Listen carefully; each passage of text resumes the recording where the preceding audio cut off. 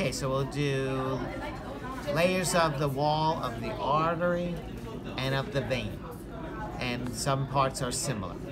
Okay, so we'll start from inside and we'll work our way out. Okay?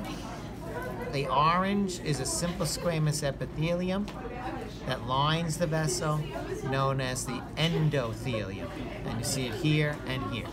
And there you can see the blood inside. Right?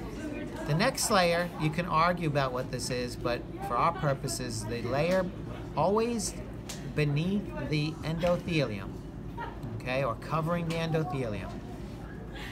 In any case, epithelial cells is loose areola. So we have our epithelial cell, our loose areola, and these are glued together by the basement membrane.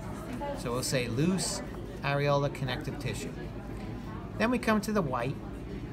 This is known as the internal elastic membrane or internal elastic lamina, either way.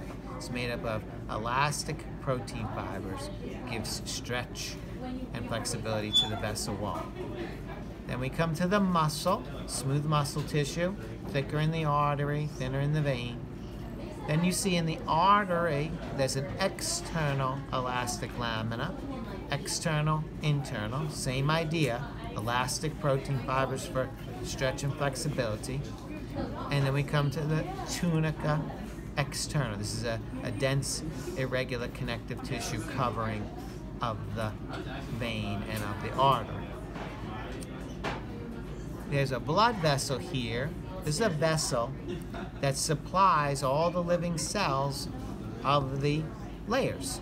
This is known as the vasovasorum. Vasa vasorum. Here, with the vein cut open, you can see some of the venous valves. Uh, unidirectional valves. Blood flows past, opens the valve. If it tries to go backwards, the valve closes.